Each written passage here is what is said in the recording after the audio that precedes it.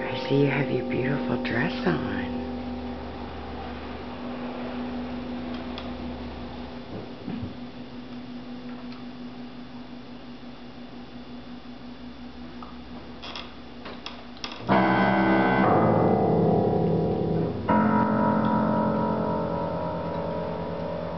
Good girl, Rosie.